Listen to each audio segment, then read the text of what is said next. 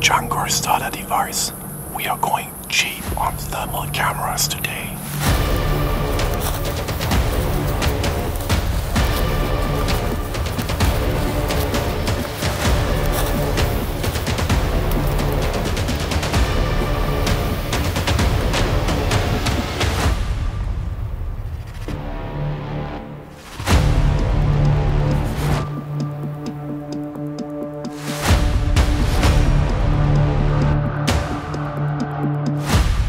Buddy of mine, he's a new hunter, called me a couple of months back, wanted to know what kind of thermal imager he should get. Thing is, he had already dropped a small fortune on his rival and didn't want to spend too much more.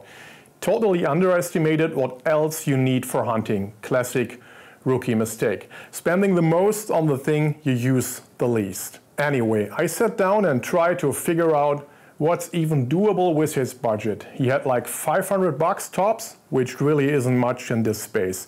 But I remembered the Hikmicro LC06 was still out floating around for about 400 bucks. I bought one myself a few years ago. Nowadays, you can even snack it for closer to 300. Since I also recommended he get something with a decent field of view, I landed on the Hikmicro LE10S. It's got a pretty wide view and still stays right around that 400 euros here in Europe. That was reason enough for me to borrow the LE10S. My friend got it in the meantime for some testing and pit it directly against the absolute bottom of the barrel LC06. Spoiler alert, the results actually surprised me and the night had a few unexpected twists. And hey, before you forget, do me a favor, go ahead and hit that like button. It helps the channel out a lot. So I took both units out to my favorite hunting stand just to see how much detail you can even make out in the environment. And wow, I did not expect the difference to be that big. The LC06 has a pretty low resolution, 160 by 120 pixels. The LE10S steps it up a little bit by 256 by 192. Not a huge jump on paper, but out in the fields, it's a whole different story. The LC06 basically shows you vague blobs, very little structure, but the LE10S, it's not crystal clear or anything, but at least I can actually see what's going on in front of me. First heat signature I spotted was in a tree, not much more than a bright dot about 20 yards away on the LC06 but I already knew what it was even without switching devices. That little owl always hangs out there waiting for mice near the feeder. Here's the same shot with the LE10S.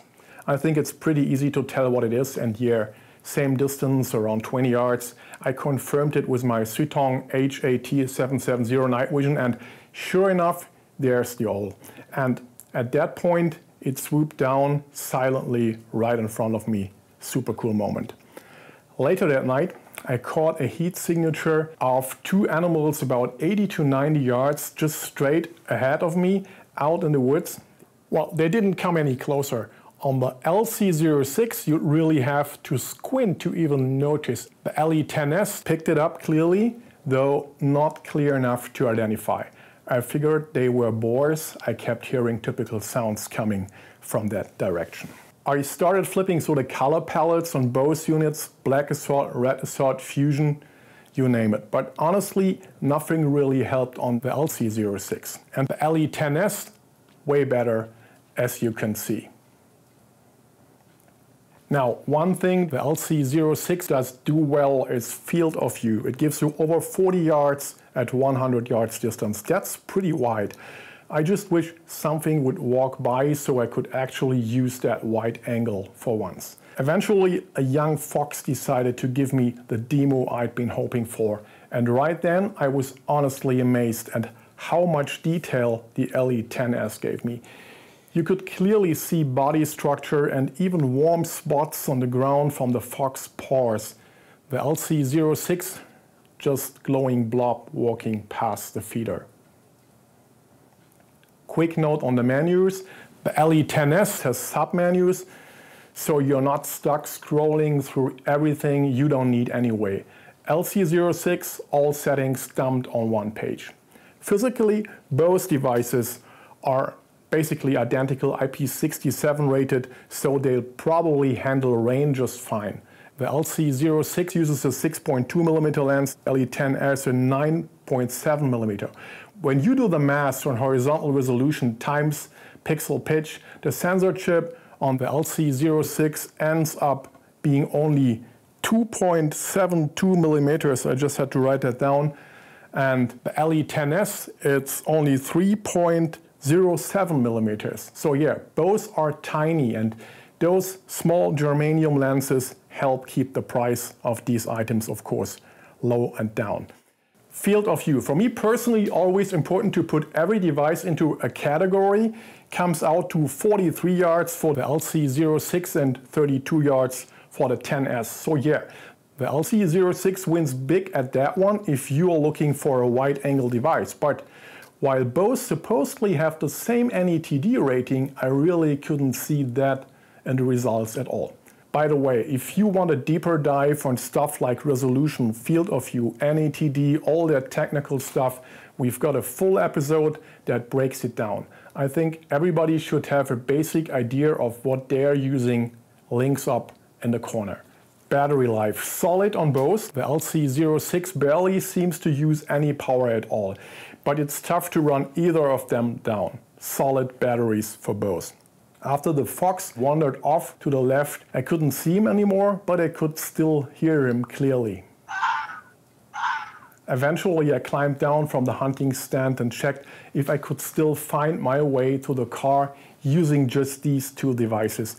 It was a warm night, and while the LC06 gives you that nice wide angle, there was barely any structure visible. LE10S had a tighter view, but yeah, it got me back to the car just fine.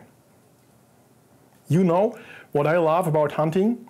It's full of surprises. I was about to head out to the fields, wasn't quite satisfied with the fox test at that time when I suddenly heard a very familiar sound rolling in from the left. Wild boar, and a lot of them coming right at me.